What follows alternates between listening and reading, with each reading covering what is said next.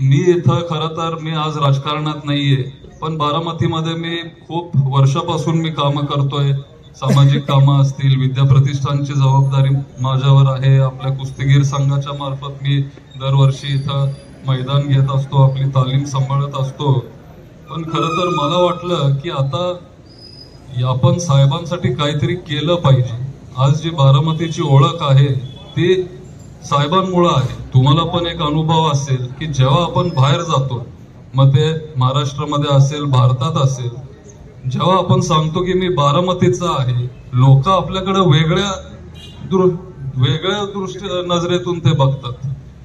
कारण आणि दुसरा प्रश्न जो येतो की पवार साहेबांचं गाव कुठेही तुम्हाला सगळ्यांना हा अनुभव आला असेल. त्याच्यामुळे मला वाटलं की आता सगळ्यात जास्त गरज आहे आपण साहेबांना सपोर्ट करायची त्यांना साथ द्यायची. आणि त्याच्यामुळं खरं तर मी इथं आलोय.